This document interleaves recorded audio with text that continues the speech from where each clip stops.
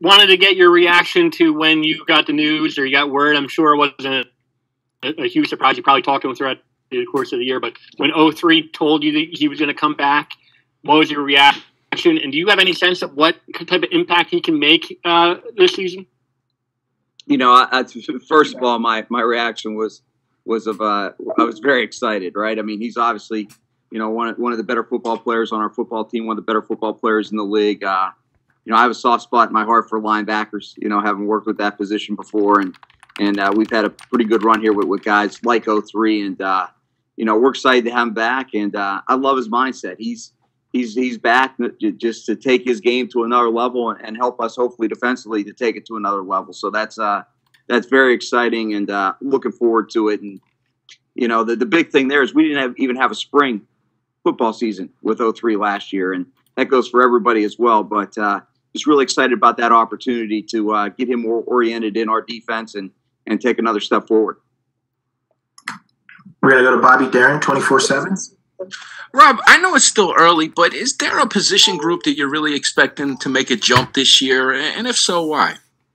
You know, I tell you, I'm really expecting all the all the groups to, to make a jump. I mean, that's that's the way you get better as a collectively on defense. You know, I'll start with the back end. I think uh, number one, we're excited to have Fran back with us, and and I, I think those guys are working really really hard with Jay. They're they're working hard academically, and you know I think we're going to play better uh, football in, in, the back end, and that's going to be important for us. Uh, you know, that's the last line of defense, right? And, and in terms of eliminating big plays, I think the, uh, the secondary very very excited about the work that they put in. Obviously, we talked about the linebacking corps. You know, we we got Fogg coming back as well with 03, so I think we can make a uh, you know a, a, another jump there. And then you know up front, it's uh, you know guys like uh, Jew and, and, and Tverdov. I mean, we're we're expecting to make a jump at all three levels. That's the only way that you can get better as a as a group entirely. So we're uh, we're excited about that. We'll take our next question from James Kratch, NJ.com. Rob, I don't know Toure had a big impact for you and a lot of several of your wins in that kind of limited package. How do you expand his role, and what do you envision his role being this season? you know, I'll tell you what. The uh, I think that's a great point. The uh, the one thing that that we actually have this year, I think we're going to have a as normal as you can in these times. We're going to have a normal spring. We're going to have a normal, um, you know, normal fall training camp. So I think a guy like Mo can really benefit from that. And and where we kind of had the the limited, uh, you know, pieces of some packages that he was involved, we can really expand upon that and and you know, he's a talented guy. He works really, really hard. He works hard with Jay. He works hard with Coach Rage. He works hard in the classroom. So he's a guy that I think through, uh, you know, with with having spring football this year will be a big difference for him and some of the pieces that he can add on to in our package. To go to Chris Iseman with Gannett. Rob, just want to ask about um, Patrice Rene. Uh, what did you like about him, and, and how much do you think he can, you know, bolster your secondary with his his ability and his experience too? Well, you know, the, the big thing about, you know, any transfer that, that, that we're going to take is he's a Rutgers kid, right? And, and what's a Rutgers guy? Somebody that's going to, you know, work hard, loves to play the game. And those guys usually, you know, things translate well for them uh, on the field. So haven't had a chance to, to, to, work with him very, you know, other than just see him, uh, but very, very excited to work with him during uh, spring football. But uh, we're certainly glad we have him. And, and like I said, he's, he's the typical – kind of guy that we're looking for in a transfer. Loves to play the game of football, hardworking guy. So that that uh, that that should bid well for us. We're gonna go to Anthony Fucilli, Rutgers Radio Network. Coach.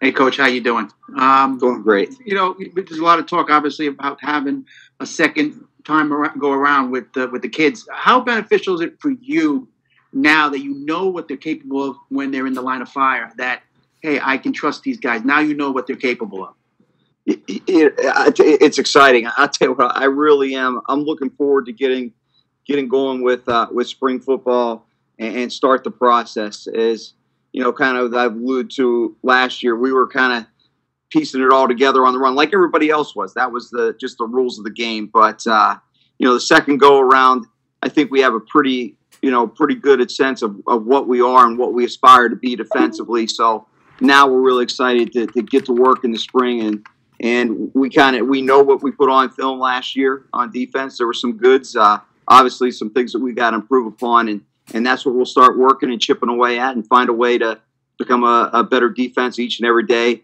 Uh, we get a chance to go out there in the spring and, and, and carry that on through the fall. We're going to go to Richie Schnyderite with Rivals. Coach, as the as the season progressed last year, it seems like you guys were starting to run more nickel. Was that more philosophy based or more based on the personnel that you guys have? You know, that's a, that's a great question. Uh, a lot of times, you know, we're, we're going to look at that.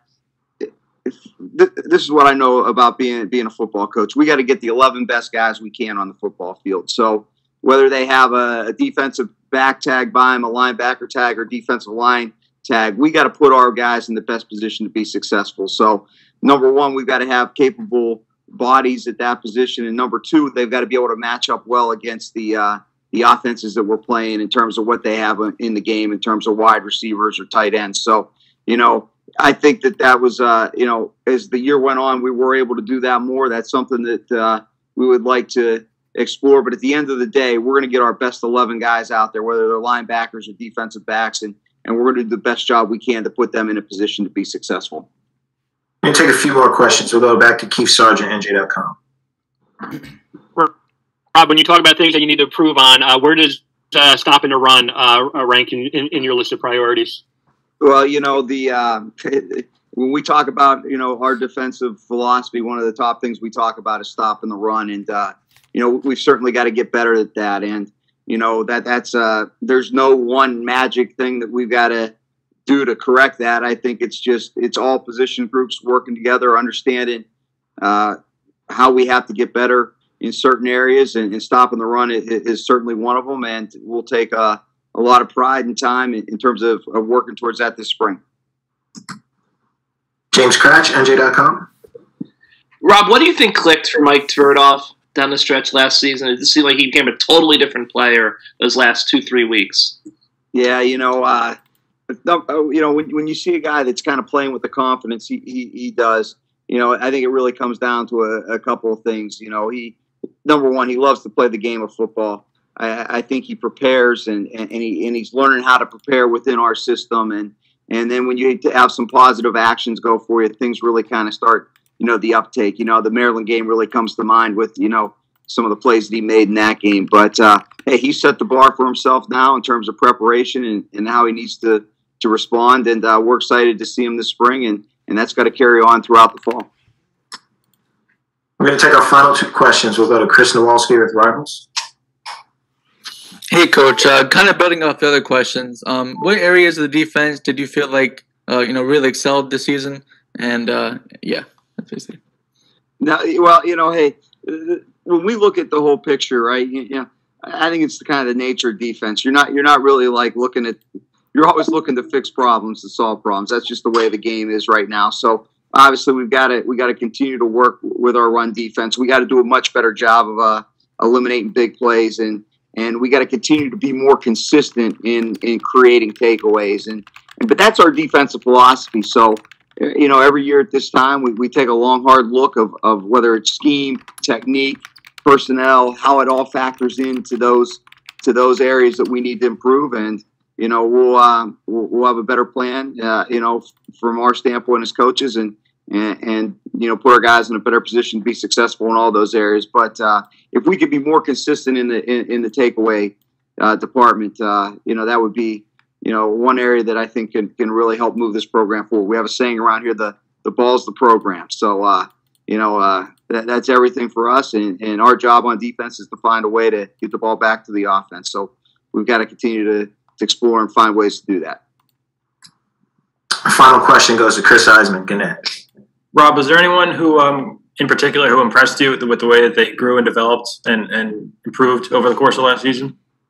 You know, I, it's hard to, to, single out, you know, just one guy. I I was really, really impressed with the, the group as a whole. I mean, I, you know, I think what was it, nine straight Big Ten games. The guys showed up and, and worked really hard this week, and and did the things that you know that Coach Schiano asked them to do within the culture in order to have an opportunity to do that. So I was just really impressed with the with the group and their mindset and and and I think that's that's a positive. That's what excites me for this year. Is hopefully we can get into a little bit normal routine, like I said with spring football, a, a normal fall training camp, I think that's something certainly to build on. So I don't think it's one guy, but just the collective group and, and how they went to work and they and, and, and battled and and were able to play in, in, in nine straight games and, and, and not miss one. Just you know, with everything that's going on in the world, I think uh, that's certainly something that, that we could be proud of. And now we got to take that and use that and, and make ourselves even better heading into uh, the spring and the fall.